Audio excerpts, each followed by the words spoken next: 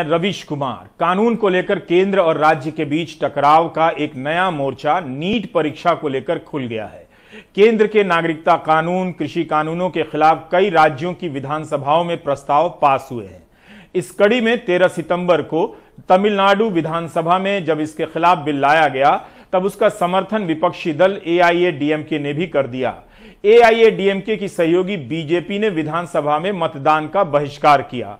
पूरा राज्य नीट परीक्षा के सिस्टम से अलग होने पर अड़ा है। तमिलनाडु नीट परीक्षा से तभी अलग हो सकेगा जब राष्ट्रपति विधानसभा में पास इस बिल को मंजूरी देंगे। केंद्र सरकार के बनाए कानून से निकलने के लिए एक ज़रूरी प्रक्रिया है। इसी से जुड़ा एक किस्सा भी है। 2015 में जब बीजेपी के पास राज्यसभा में बहुमत नहीं था, वह भूमि अधिग्रहण बिल का संशोधन नहीं करा सकती थी। तब अरुण जेटली का एक बयान है कि राज्य सरकारें इस बिल को पास कर लें और केंद्र से मंजूरी ले लें मतलब राष्ट्रपति मंजूरी दे देंगे। 2017 में भी तमिलनाडु विधानसभा ने इसी तरह का प्रस्ताव पास किया, तब भी मंजूरी नहीं मिली। 2016 में सुप्रीम कोर्ट ने आदेश जारी कर दिया कि मेडिकल की एक राष्ट्रीय परीक्षा होगी। लेकिन किसी को अंदाज़ा नहीं था कि इस एक आदेश से उस साल के आसपास मेडिकल की तैयारी कर रहे छात्रों के जीवन पर क्या असर पड़ने वाला था। एस अनीता, तमिलनाडु में नीट की परीक्षा के विरोध का चेहरा है।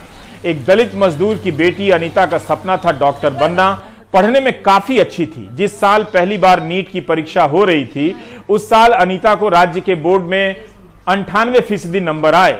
इस आधार पर उसे राज्य के किसी भी मेडिकल कॉलेज में नामांकन मिल सकता था, लेकिन नीट के कारण अनिता फेल हो गई। वह सुप्रीम कोर्ट आई कि नीट गरीब और गाँव के छात्रों के खिलाफ है तो याचिका खारिज हो गई। एस अनिता ने आत्महत्या कर ली।